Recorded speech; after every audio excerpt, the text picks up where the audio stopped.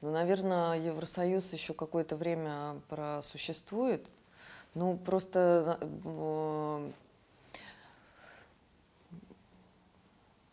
Я не знаю, у меня даже, если честно, нет какого-то личного отношения к Евросоюзу, и поэтому у меня нет какого-то личного, наверное, своего мнения.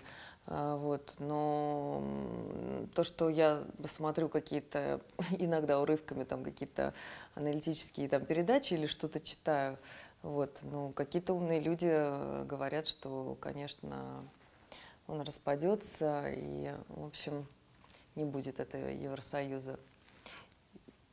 Я, если честно, не, не понимаю, хорошо это или плохо. И не знаю, большое ли он влияние имеет э, на нас. Не знаю. Ну пусть, наверное, лучше распадется. Это Евросоюз, потому что прям сильно в последнее время его все ругают. Вот.